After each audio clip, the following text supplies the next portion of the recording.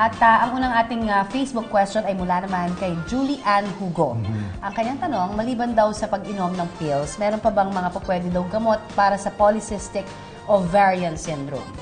Talagang marami pang magagawa dyan, Juliano, hindi lang mang sa pag-inom ng pills. Kasi ang pills kasi, Connie, talagang ah, makakatulong yan sa polycystic ovary syndrome dahil nga makakapag-regulate ng menstrual cycle ng isang babae. No?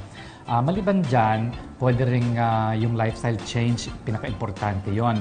So kung payat si Julian, kailangan niya mag-gain ng weight. Pero ang, ang polycystic ovary syndrome kasi, very common ito sa mga obese na mga babae, no? mga overweight at saka obese. So kailangan na magbawas siya ng timbang. So kailangan dyan dieta Alright. at saka exercise. Ayun naman pala.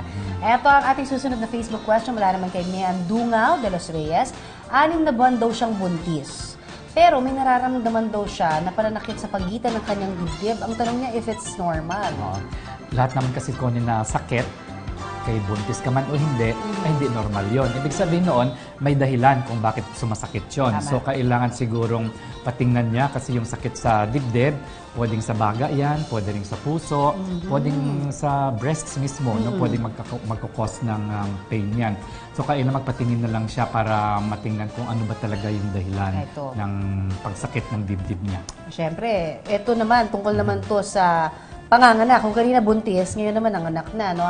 Mula ito kay Shaira Axerol.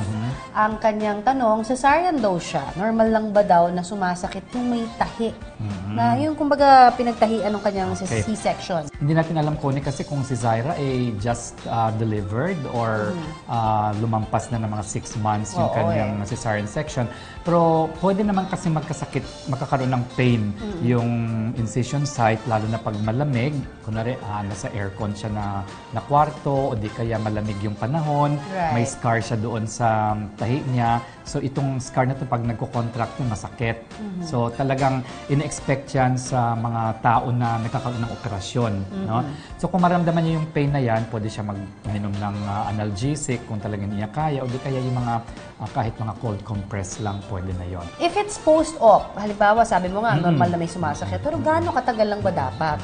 Ah, tumatagal ito ko lalo na pag may keloid yung isang babae, no? yung susugat niya, may, may keloid dyan. So, pwedeng, you know, di ba sabi nila may forever? Mm, yun, so, meron. pwedeng forever yung pain niya. No? Depende yan sa sa temperature, depende sa ginagawa niyang activity. So, Right. kung na-stretch masyado yan, magpe-pain, masyadong malamig, lalong sasakit. Oh, so, hindi naman delikado. It's Hindi just that naman. ah, may mga ganong klase lang talaga. Pero nevertheless, kailangan pa rin patingnan niya. Kung sino nag-opera sa kanya, patingnan niya doon. That's, oo, that's right. Para lang to have peace of mind. Yes. Ito naman mula kay Dane May Valdez Behosano, normal ba na dalawang araw lang daw ang tinatagal ng kanyang menstruation? Ang mga babae kasi, Connie, hindi pare-pareho ang uh, duration at saka yung length ng kanilang regla. No? May mga babae na isang araw lang pero normal na sa kanila yon. Pero mga babae naman na mga 4 to 5 days. Ang usual kasi mga 3 to 4 days yan. No? So, as long as you have your menstruation every month, that's okay. Normal no? yun. It doesn't really matter kung um, kung isang araw lang siya o dalawang araw. Ang poproblemahin mo lang dyan kung talagang sobrang lakas ang At regla sobrang niya. tagal. At sobrang tagal. Ayun. At syempre mula naman kay Caroline Perea.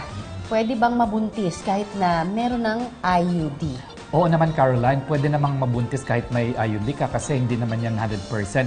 Kahit nga, Connie, yung mga tinatalian na, no? Oo, eh. Ina-explain namin palagi yan na hindi siya 100% because 99.9% ang success rate na may 0.1% ka pa na pwede pa siyang mabuntis kasi magre-reconnect yung Oo, God's will na yun, oo. So kung may IUD ka dyan at uh, nabuntis ka, ibig sabihin noon, is a failure yan sa sa IUD mo at uh, ito ay bigay ng Diyos sa iyo yan. Kaya Blessing okay naman. lang yan. Oo, totoo naman yun.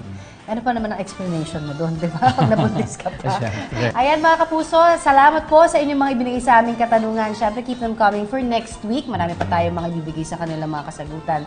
Wala pa rin kay Doc Q. Kaya stay tuned. When we return, more health tips. Diyan lamang po kayo.